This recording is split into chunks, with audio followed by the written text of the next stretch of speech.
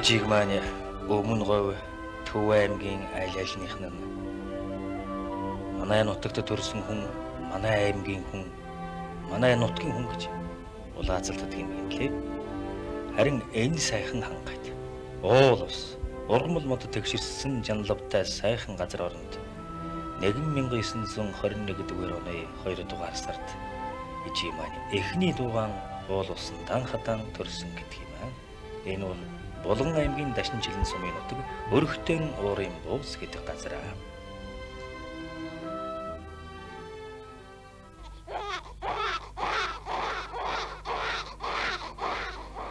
Ойлгоход ярвхтэй ном гэлээ би. Олдоход жирийнэгэн билээ би. Ойлгосон хойноо хэрэгтэй ном байхсан. Олдсон хойноо маргашгүй нөхөр байхсан.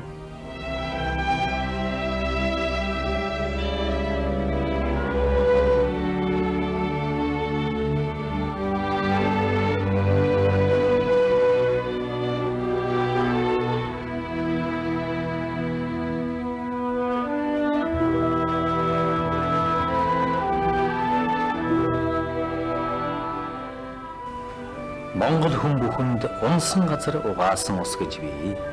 Бүр төрсөн тоомт ч гэж байдаг.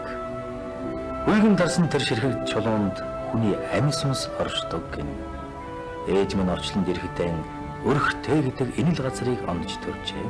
Тэмч болохоор өрх гэр өнөр Монголынхон охин нүнч үнэнч зардсанч үрдийн хүндэтгэл турсгалтай хатан эжинч болж мөнхөрөх учир өрөөлтэй байсан юм байхаа та. Энд ирэх болгонд надад гүн хүндэтгэлтэй сайхан байдаг. Хадаж улуунаас нь ээжийн нам болог зөөлхөн дуу хоолой сонсдох чиг эсвэл энд цайгаан үйж хүүгэн хүлэн санаашин суугаач юм шиг нутаг нугийнх нь ирж гисэн уяа шүзэг дүүрэн морд багшран байгаач юм шиг ариун дагшин тоонотон гагтан хүүтэн сэтгэлээрээ нь лариулж танийгаан дурсан санагалцхийн агаарт өмбөх юм даа.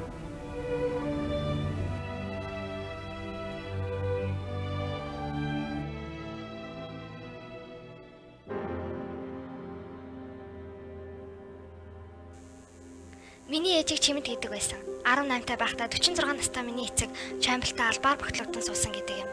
Тэгээд нэг жилийн дараа намайг төрүүлжээ. Хувьсгалын дараа жил юм гинэлээ. Аав маань нас орж ээж өөр хүнтэй суугаад би хайд эцэгтэй болсон юм. Ээжийн минь бие муудаж хэвтэрт ороод байхдаа миний хүүхэн ажил сур урагдад цаарснаа өөрөө цайлдаж чадахгүй юм бол ямар бүсгүй хүн байх вэ? Юу хүн хийхнийг ч үлээ хийгээд сурчхад хүнд сурсан юм юу илүүддэггүй юм гэж байнга цагтагсан. Миний ээжийг сайхан хүн байгаагүй ч нүдэн дулаахан цагаан шарвтар царайтай эмэгтэй байж илээ гэж үеийнх нь хүүхнүүд ярьдаг байсан.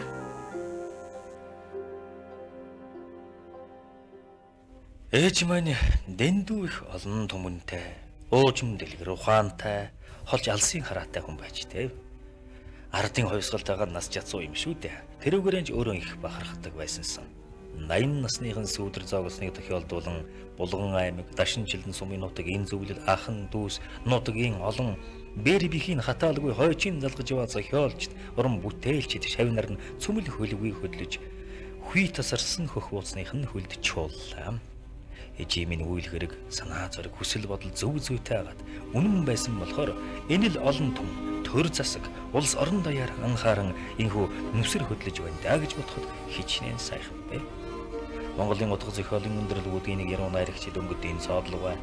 Монголын зохиолчдын эвлийн гүйцэтгэх захирал зохиолч нарийн найрагч Төрбат, нутгийн аха буурал зохиолч Уран хаанаар тоонотынхан үлмэд тэрхүүн хөргөн ажиллахыг хараад сайр шамдын усыг шавхаж яаж барах вэ? Сайн хүний үрийг мартаж яах нь чадах вэ гэсэн ардын дууныг сэтгэлд эргэлдэж байсан та. Энэ 1974 онд манай энэ суманд тэгэд манай тоя нэгдлэгжсэн нэгдлээс одоо энэ нутгийн юм байна. Манай нутагда ирж нэг хэд хоног гэж ингэж урьсан юм байна. Тэгээ тэр урилганд манай энэ савнгийн голын тэнд нэг тусгай гэрмээр чад энэ сайднэрийн зөвлөө авдагчсан дандгийн цаг утгаатай хоёулаа цаг ирсэн байгаа юм. Тэгээд тэнд нэг хоног тэгж явахдаа одоо энэ төрсэн жинхэнэ төрсэн нутгаас ууцаар сарвалж ирсэн хүн дээ. Наваны тасан гэдэг нэг хүн байсан. Тэр хүн бол ер нь одоолыг санагдсан багтан тийм хүн байсан тэр гэж бас ярьдаг яриаг энтгэнээс там сонссон юм шиг байна л дээ. Тэгээд тэр дашингуутай уулзаад тэгээд тэр дашингуу гэдэг хүн л одоо аа чам танайжийн телевизээ мэдэн танайжитэй чин танайжи бол сэтэн гэдэг хүн байсан. Сэтэн битгаар бол нэг үе үе хүүхдүүд тоглож хорог тоглол хариулж ингэж энэ голд байсан улс гэхэл тэгээд л зөвхөн хаа тэрсэн гэдэг нь энэ уурын буусан нямглан байх гэдэг айлтай манайхан шайл байсан баг Тэгээд энэ л да гэж энэ гэж л зааж агсан да энэ. Ингэж л сурвалжилж гарсан. Тэгээд өөрөө тэгээд урагаш нь чөлөө эзэн чөлөө тэр юм уу тэгээд энэ дээр үрчилж энэ ууцсан дээр энд одоо ясал тэгэл хийж тэгж л байсан. Ийм л өчртэй юм байгаа юм.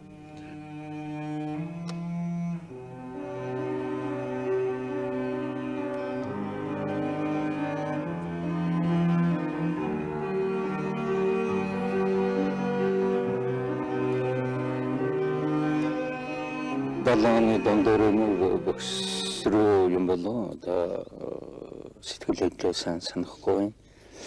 Удалган хэн гэж шүлэг хэвлэгцэн.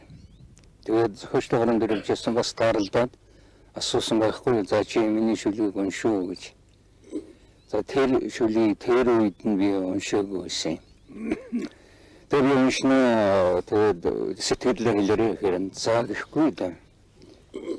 За ингээд тэр одоо яваад юм амаа тэр шүлгийг уншиж чадаагүй нэлээд бас нэг 7 хоног гэжтэй өнгөрцсөн юм байна. За тэгээд тэрнийг би хэлэх ёстой байсан. Энээс хойш олон уулзсан энэ шүлгийн тухай э, дахиад надад нүүр тулаад очихтай чамд ямар санагдав гэж ягаа ч юм асууаагүй. Би ягаа ч юм хэлээгүй юм. Тэгээд тэрнийг хэл гэдэг тэр даалгаврыг одоо биелүүлж э, чадаагүй юм байна. Одоо ингээд бодоход тэгээд энэ сайхан одоо үлцгийг ийсний ойгоор энэ сайхан хишгтэй энэ жанлавтай орон хангайд одоо ингээд бидний дээрээс харж байгаа байх бодож байна. Би тэгээд энэ Монголын нэг хүн одоо дулуухан сүнсэн тэр шүлгийг одоо уншсан их таалагдсан гэдгийг одоо даалгаврт нь одоо биелүүлж байна гэдгийг одоо хэлмээр байна. Энэ өдөр өргөтөн бууцсан цугласан хүн бүрийн сэтгэлд эжимэн дүр төрх янз бүрээр оршиж дурдгал бодлын алсаас үгэнгэлж бодлын угаан хуваалцсан байх. Эжиманя Монгол улсын хамгийн олон алдардан гавьяатан төрсөн тэр нутгийн хүн. Хатанбаатар ван, Андарбаатар, Очирбаатар гэж цөмөл энэ нутгийн ээжийн их хөвзийн арамаар бүтээсэн киноны магсарж буй дүрийг мөн л нутгийн эрдэнэ болгонгой бүтээсэн юм шүү дээ. Би бас их хөвзийн дүү юм. Яа гэхдээ зэрэг 1973 оны намар юм аа яг энэ буудсан дээр одоо удалгайн төрсэн өрхтэй дээр бидний сууж байгаа газар явуу холонгой гайтвгой дэндийн пөрүүд орж байгаа чан шагдар ийм олон сайхан уран бүтээлчд бид бас энэ дээрж нэг үдийг өнгөрөөсөн учиртай бас угаа тэгээд энд би нэг их өсөд торноогүй ч гэсэн унсан энэ шороо энэ дэлхий чулуунаас л би цэник авсан хүн дээ гэж ингэж бидэнд дурсаж ярьж исэн санаанд ороод харин өнөөдөр баг хоолоо зөнгөрөх шинжтэй болох юм аа.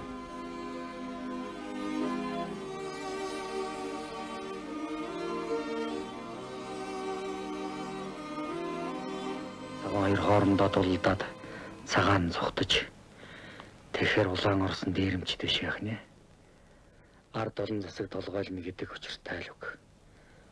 Сүхбаатар зүгээр ер нь ингээд зохиол бичиж байх зохиолын тухай ярьж байх хугацаанд бол алиаваар ч одоо ер нь тохиолдол зов их гацсан шүү дээ.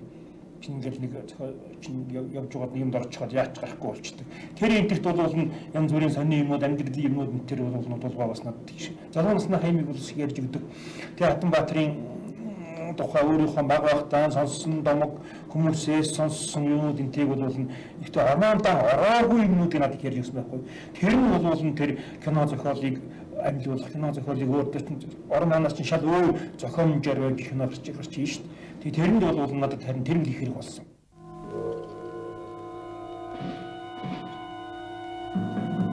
Тагнуулын мэдээгээр бол Тэмэн жингээр халахвчсан хятадын 500 цэрэг орж ирж байгаа нь. Ээжигээ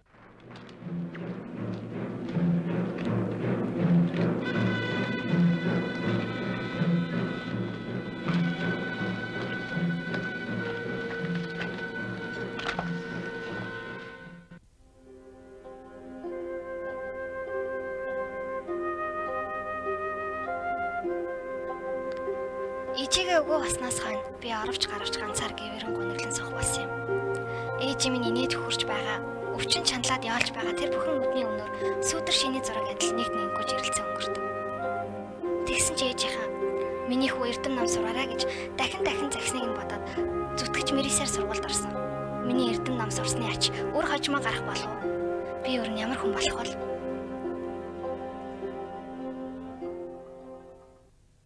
Монгол Улсын засгийн газрын доктор 2001 оны 1-р сарын 24-ний өдөр дугаар 13 Улаанбаатар хот нэрмжит болох тухай Булган намын дашинжилэн сумын 11 нүд сургуулийг төрийн сойрхол зохиос сонин удуулын нэрмжит болосгоо Монгол Улсын ерөнхий сайдын үр гүйцэтгэгч бөгөөд хууль зүйн дотоод хэргийн сайд Цэнэмдэрч эрүүл мэндийн сайд Пэнэмдэ Ээжийн төрсэн сумын хүүхэд чуулсан их өргөө 10 жилийн дунд сургуулийг сонмын удвлын нэрмжид болуулаа.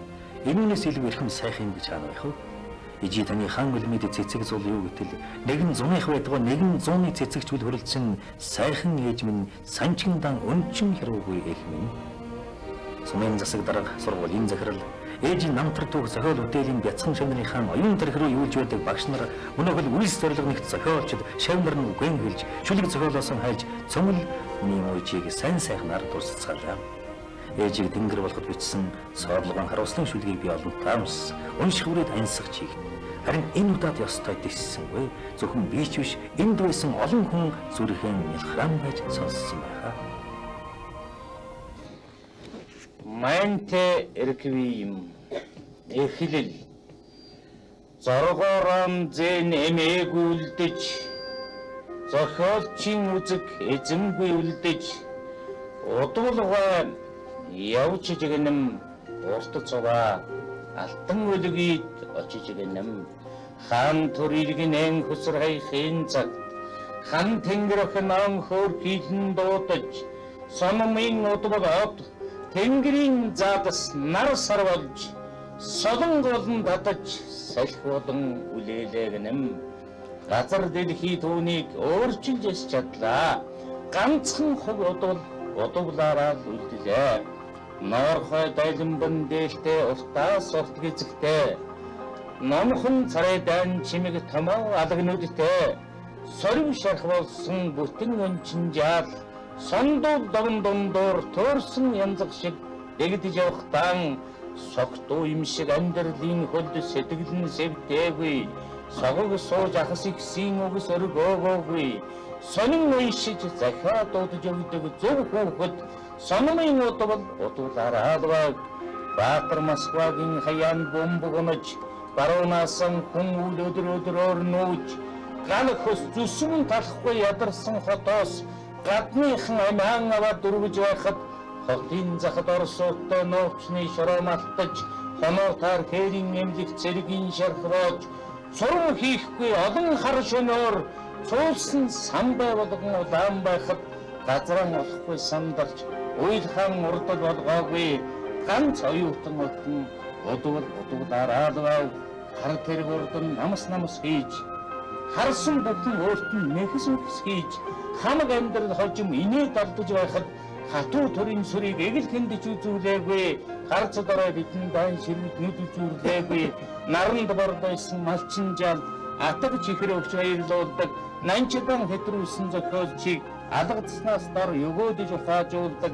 Насандан түүрдсэн буураад хадагтай золгож үнсүүлдэг найртай газар боовол жаахан шарга илчдэг сайхан инээдэг үнэн үг хэлдэг тэр сайрхуу сайд дарга байгаагүй удвал удвалаараа л байлаа.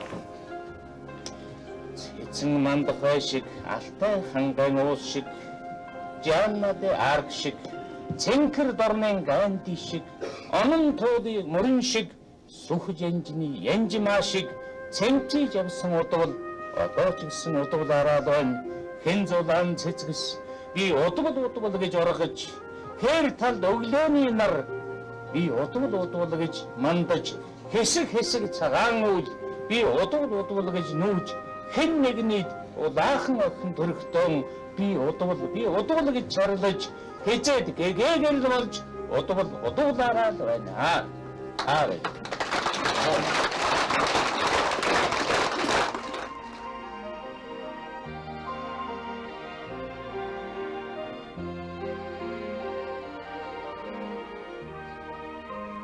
Өнөөдөр эрдэм цогцолсон сургууль соёлын тан хямдж нараа эсэн энгэрийн бүлээн бууцандж малчны цагаан өргөө талын аарагвар толгодын дундаж сономын удвал гэж хүний ори ганц охин үр тус буян хураан харилсан энэ сайхан өтгсийн тухай хүмүүсэд орсон ярьж үс үтээлийнх нь үнэн цагааныг дахин дахин банжиж хойж үеийнхэн хөөрнөн байна. Очсон газар бүхэнд л бид жагаан байхтан ээжийнхэн дагаж явхад ард түмэн яаж хүндэтгэж хэрхэн зочлож дайлдаг вэ? Яг л тэр янзаар өгтөн хүсэл бодлон илэрхийлж зарим нь бүр тулхтай үг сургаал зөвлөгөөн сонсох гээд байх шиг.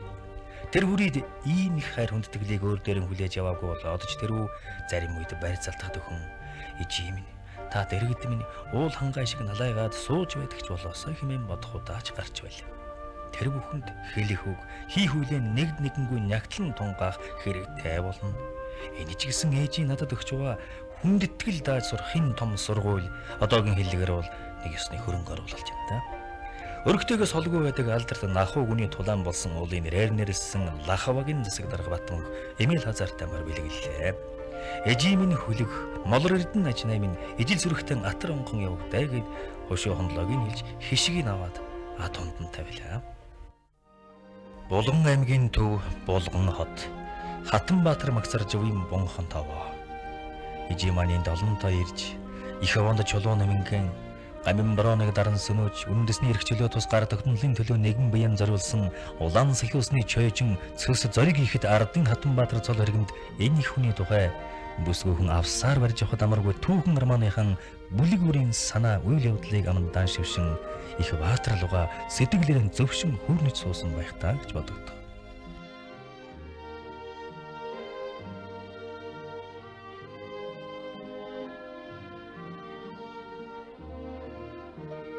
Энэ үдэш булган нутгийн тэнгэр дор дуу хуур, эрүүл магтаал, шүлэг найраг ундарсан мөн лежимийн тухай, түүний бүтээл төрвөл амьдрал тэмцэл хүсэл мөрөөдлийнхэн тухай дурсан сэтгэл хөдлөн сайхан уулзалт, үжишлэг тоглолт цэнгэн болсон юм аа. Энд их бүх ажлыг эртнээс маш чамбай сэтгэлээс нь бодож зохион байгуулсан аймгийн удирдлагууд соёлын хэрэг хэрэгжсэн хүмүүс баярлсан сэтгэлийн хэрхэн илэрхийлэх юм мэдэхгүй байл. Хөгжимтэй жүжигийн театрынхан ээждмэн зориулан дуулж, утга зохиолын нэгдлийн гишүүд ээжмийн тухай бичсэн шүлэг айн уншиж, нутгийн зөвлөлийн сономын нутглын үйл хэргийг өргөн сурталчлаж бүтээл дурсгалын мөнхжүүлхэн амлалаа. Энэ дагуу бодиттой биетэй олон чухал ажил өрнүүлэх юм байна. Энэ үг хэлсэн шүлэг зохиолынхан дээжээс уншсан энгүн дурсамж хүрнсэн хүмүүсийн яриа сэлтээс тунгаан бодоход ээж маань нэг хүний тэр тусмаа бүсгүй богино заяатай хэмээн үзэгддэг эмэгтэй хүний хувьд нэгэн насан дамжуулсан гэхэд итгэмээргүй их ачаа өрч түүний төрөлгүй дааж бас түүнээс ч илүү ихийг бодож төлөвлөж явжтэй. Ээжийг маань ямар ч олон хүн таньдаг мэддэг байсан. Хүн ардадан ямар ч их тус буян үлдэж тэднийхэн хайр хүндтгэлийн төвд оршсон юм. Үүний хажуугаар бас өрөх гэрэн толгойлж, өрөвдөн ялхан үтэн үрсийнхэн бойг нь арилгаж, барин тэнэлгэж, уранхай цоргойг нөхөж, эрдэнэ сургаж, эгнээс нь татаж, хүний зэрэгт хүрэх гэж эхийн сэтгэлээр олон шин ойргүй хонож, өчнөө өдөр шаналн зүвдэг гэдэг. Хавцсан хатуу ном гэлээви. Хаянлахад амаргүй хүн гэлээви. Хавцсан элэгдэшгүй ном байхсан. Хаянлахад халгүй нөхөр байхсан биднийг байгаад ээж маань олон улсын тийм чухал ийм ч зөвлөгөөнд явлаа гэдэл Европын аль нэг орн руу өглөө ажилдаа явж байгаа юм шиг л гараад өг. Хурал илтгэл тавьж байгаа дээхэн үед кино мэдээгээр сүлдэн зурагтаар харагддаг байсан. Бид ирэхэд нь гадаад орны чихэр жимс гой ганган ээдээ хувц сонрол нэгж өгтөн гэтэл хөөрхий ээж минь ямархан хүнд ачаа үрж оюун тарихаан гашилгаж би сэтгэлэн чилээдэг байсан юм болтоо. 1975 онд тэр Берлиний их хурал гэж болсон дэлхийн техникийн эмэгтэйчүүдийн их хурал гэж болсон юм л да. Тэр чинь олон улсын ардчилсан эмэгтэйчүүдийн байгууллага байгуулагдсны 30 жилийн ойч давхар болж исэн энэ ойд зориулаад дэлхийн дахны эмэгтэйчүүдийн их хурл гэж болсон юм. Тэнд ч одоо дэлхийн бүх орон эмэгтэйчүүдийнхээ төлөөлөгчдийг илгээсэн их том хурл байлаа л да.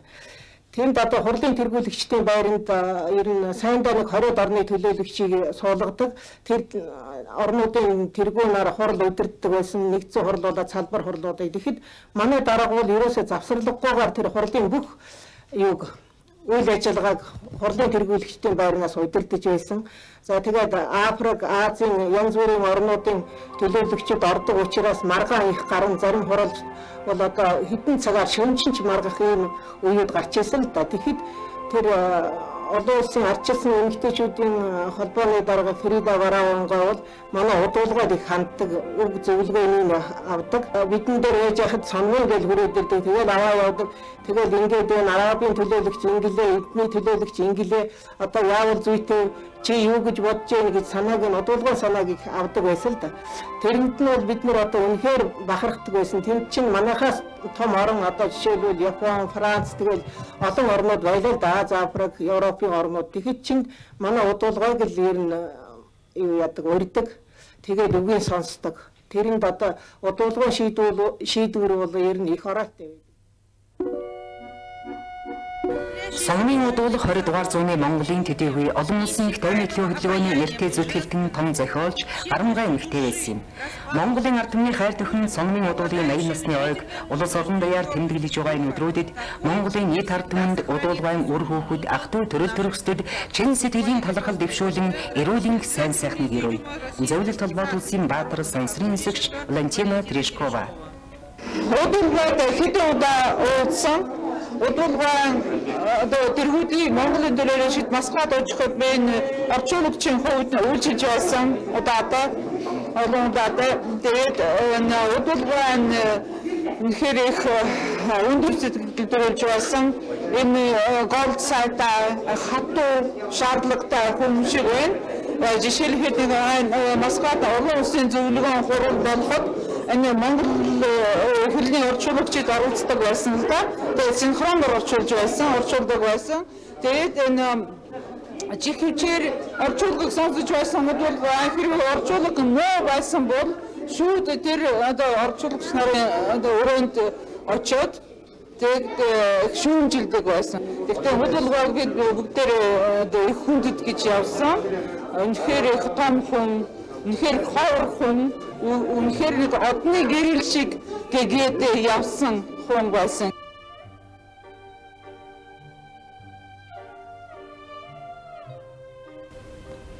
Хүн агаа их зүйлийн дэрэгдэн байхтан огт анзаардаг юм байна. Манай гэрийн зургийн цомогт хадгалагдаж байсан эдгээр зургууд тийм ч чухал үнэ цэнтэй юм гэж төдийл бодогддог байсансан. Гэтэл үсгэлэн гаргаад тэрнийг хүмүүс хэрхэн шимтэн сонирхон үзэж байгааг нь харахад зөвхөн ээжийн маань төдийгүй. Манай гэр бүлийнхний амьдрал төдийгүй. Монгол улсын заашлбал олон улс бүр дэлхий дахины инх тавны төлөө тэмцэлийн түүхэнд маш ховор нандин баримт хадгалагдсан үлдсэн юм байна. Та бүхэн ч гэсэн анхаарлаа төвлөрүүлэн болгоно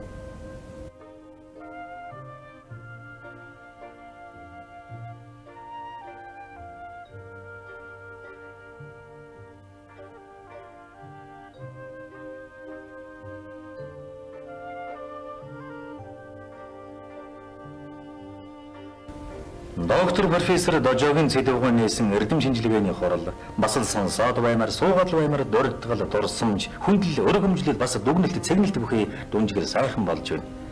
Утга зохиолын судлаач шүүмжлэгч доктор Синдугай ээж маань 20 дугаар зууны Монголын хамгийн том эмэгтэй армаанч гэлээ. Аргагүй наа. Их хувь зя түүхэн армаан нь зуны шилдэг 10 армааны тоонд багтсан шүү дээ. Босож 9 армааны эрэгтэй зохиолчдих байсан. Тэгвэл жигжицэр найруулагч ээж юм ардын хувьсгалын түүхэнд гарсан хамгийн том кино зохиолч гэлээ. Аргагүй юм аа. Ээжийн зохиолоор бүтээгдсэн үеэр хөргөн хөө хоёр кино нь зуны шилдэг 10 киноны тоонд багтсан юм. Энэчлэн гэрэлсрэн гишүүн төрийн байгуулалтанд бүсгүйчүүдийн оролцох оролцоо хүчтэй болгох хөрс хөрийг тавьсан томоохон улс төрч гэлээ.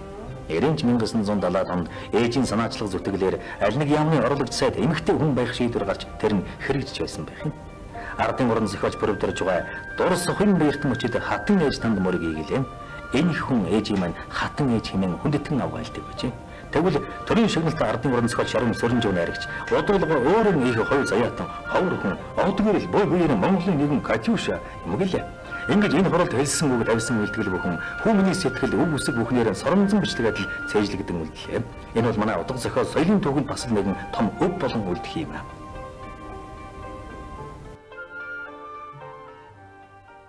Өнөөдөр манай эмэгтэйчүүдийн байгууллагууд шийдвэр гаргах төвшөнд эмэгтэйчүүд байх ёстой, тэдэн хувь байх ёстой гэж олон асуудал ярьж байна. Тэр үед удвал дарга шийдвэр гаргах төвшөнд гэж яриаггүй ч гэсэн өөрийнхөө төвшөнд тухайн үед шийдвэр гаргаж ирсэн байгууллагуудаар эмэгтэй удирдах ажилтнуудыг дэвшүүлэх асуудлыг шийдүүлж байсан хүн тухайлбал эмэгтэйчүүд олон ажилдаг яамдын аль нэг орлогч сайд нь аль нэг сайд нь эмэгтэй байх. А эмэгтэйчүүд олон ажилдаг хүүхдийн хүмүүжлийн газар эмэгтэй даргатай байх гэх мэт юм уу ийм асуудал тавьж байсан. Энэ бол өмнө одоо шийдвэр гаргах төвшөнд эмэгтэйчүүдийн оролцоо гарцаагүй хэрэгтэй гэж өнөөдрийн ярьж байгааг тэр үед олж харж ээжээ.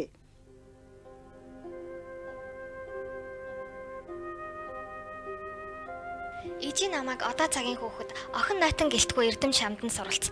Нойр хоолыг төвчиж бай. Сурч мэдхийг эрхэнд бодож төрөөнд нь тавь. Эрхэлж наатахыг дараа нь бол гэдгсэн. Ээжийг үгүй басны хойно ном уншиж суугаад яалтчгүй зөөрг мөлөж орхино. Тэрхэн хооронд ээж бит хоёр хөл хөнгөтэй морь унаад хаашаа чим нэг их алс руу галгуулж яваагаар зүудлэн. Зүг мэдэхгүй тэр их хол юунд яарсан юм болоо.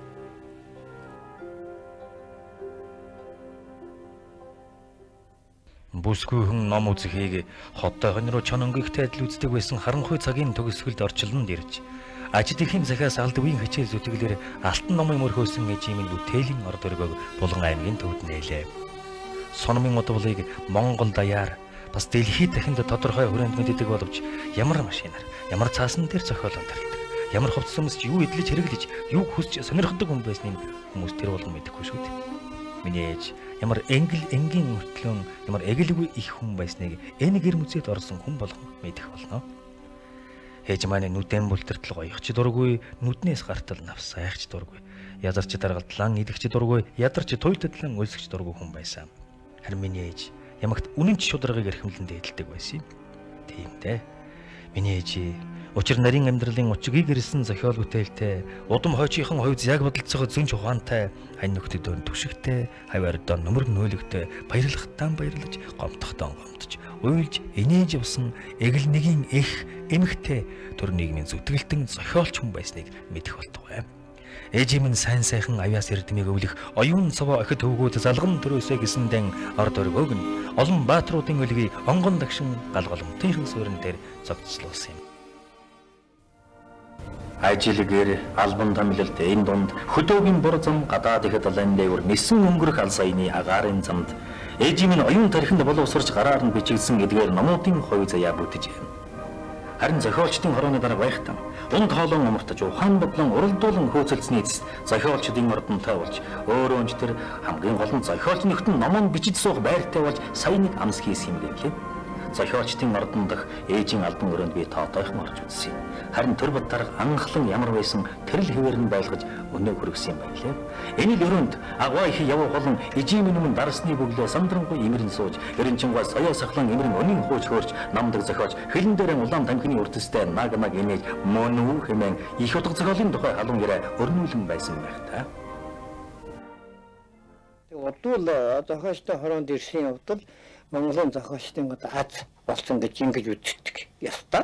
Ягаад гэвэл зохиолчтой хараа хамгийн түрүүнд бол өрхийн татах өөрийн гэсэн гэртээ болгож өгсөн. Зохиолчдын ордонтой болгож өгсөн. За энэс эхлээд л одоо зохиолчдын эрх ашигын төлөө зохиолчдын гадаад дотоод явуулах зохиолчдын одоо шагнуулах аймагийн тэмдэглэх залуу зохиолчдын зөвлөгөө хийх уран өгсөн чуулган хийх энэ төргээд удуулын санаач ирсэн хийсэн ажлыг бол вэ тооцож барахгүй юм байна.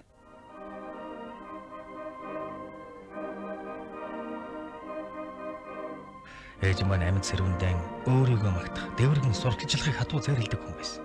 Гэтэл санаачлан хөөцөлдөж буй болгосон зохиолчдын ордны барилга нь өөрийн эрэхгүй удвал гэдэг хүний өөртөө мосгосон өшөө дурсгал сүм суур болжээ. Тийм ээ өөрт хэрэгтэй ашигтай гэж гүйхэн өмнө өрөөл бусдын ашиг тусын төлөө явдаг зүтгэж шаналдаг нь уг нь хүний ёсон. Ийм л сэтгэлээр миний ээж өөр олон олон зүйлд ач тусаа хүргэсэн гэдэг юм. Сайн санааны үзүүрт тос гэж энтэй.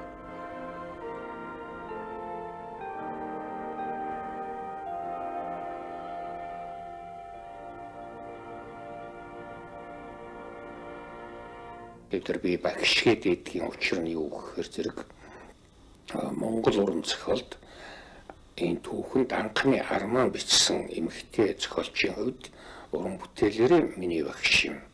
Намайг амьдралын ёроолд байхад их зохиолч үзэг нэгт нөхдийн ман дондод татаж авснараа бол ичтэй багшин дараачаар нь миний өнөр хүний зүрх үртэй хүний сэтгэл хоёр номыг өөрөө хариуцсан хариутхан шүүж гаргасан үгээрээ миний уран бүтээлийн багш юм.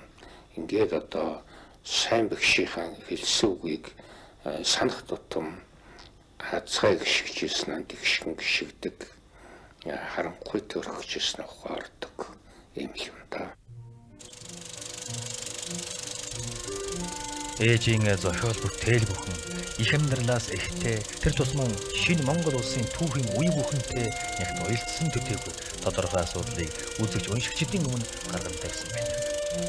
Хатанбаатар кинонд хойсголд бие хүн өдөртөгч хүн ямар үүрэгтэйг тодорхойлон төсөлсөн бол Хөргөнхүү кинонд улс орны амьдралд хоёр дахь хойсгол болсон хамтын хөдөлмөрийн даваа тал шинэ хүчний зөрчлийг баримт тавин үзүүлсэн билээ.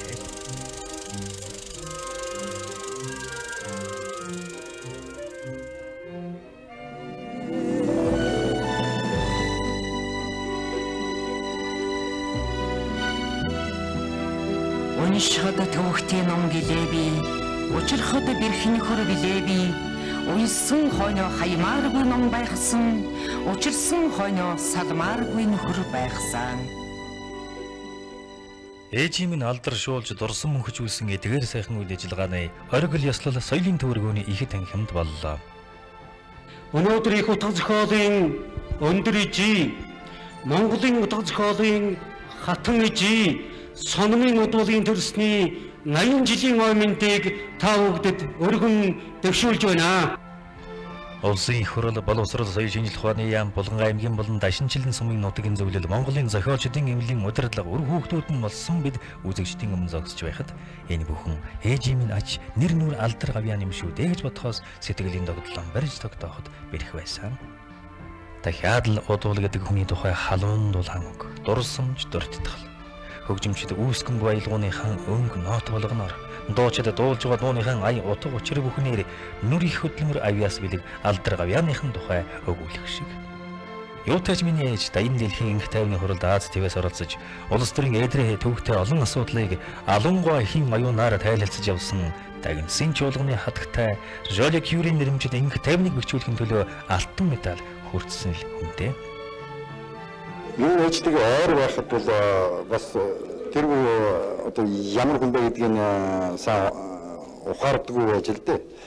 Тэгээд одоо ингээд энэ ялангуяа энэ 80-аас навгийн тэмдэглэж байгаа байдлыг харж байхад маш их сэтгэл хөдлөж байна. Одоо би энэ аг он арга хэмжээг зохион байгуулахад оролцсон, хүчин зүтгэсэн, тусалсан, дэмжсэн бүх хүмүүст маш их баярлж байна.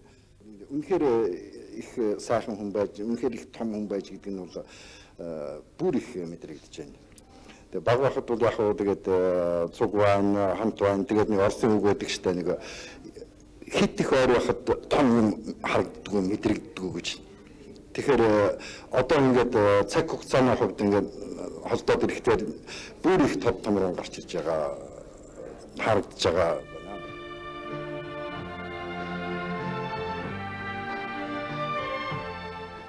Энхүү ээж дэмад 9 нэмэгтэй найрагч шүлэг найргийнхан дээжээр цэсгэн нэр их өргөлөө. Миний ээж нэгэнтэй. Тэнгэрийн уданг багтангүй хүслийн тэргэл сар атаархан ариун сэтгэлийн найруулан бичих хөөхнүүдээ найдсан үгэн сэрвлэн бич шүлэг бич згэй хөөхнүүдээ шүлэг бич хэмээн уриалан дуудаж байсан билээ. Эдгээр Монгол орн бэлэг танхай олон яруу найрагч бэсгүйчүүдтэй болжээ. Ээжийн бас л нэг хүслийн бэлэл энэ юм та маргааш ойрын ирээдүйд хизээч юм ээжийн минь оройг дарах туйсын том хэлбэрийн зохиол төрөвдөг нөхтэй зохиолж Монголд манд хай хатан шиг Жанна Дарк шиг төрмгийн аргагүй гарч ирнэ гэдэг эргэлзэх юм алгаа. Насаараа ном уншиж, ном бүтээсэн ижийнхэн шилдэг бүтээлийг эмгтэн нарны дор би мөн хоршин гэж шарлийнхан гамбиг дээр хийсэн үгээр нэрлэн хэвлүүлсэн билээ би. Тэр номон ээжийн минь хүнддэгсэн, уншихыг хүссэн хүн бүхэнд хүртээхийг хичээлээ. Ээж минь бодвол цэцгийн нэртэй гомбо бурхан шүдэнтэй гурван хөхмөн гүнд төрсөн Индранил Эрдэнийн ээлт чулуутайсан билээ. Энэ чулуу ээжийн маань бүсгүй хүнээс гарамгүй хатан зэрэг хатуужил тэсвэрийн бэлгэдэл юм а гэвэл чухамдан эрхэм тансаг удвал цэцэг шиг ээж маань Индраанил эрдмийн чулуун дээр батмсан цэцэгсийн хатан юм а. Ижигэм би эрдмийн чулуун донд ургасан цэцэгтэй зөөрлөн байж бие сэтгэл нь амгалан олсон хэдий ч үйлс мөрн мөнхөд байх ёстой ухааран энхжингийн орноос нь аргадан аргадан дуудсаар л байна мцээ.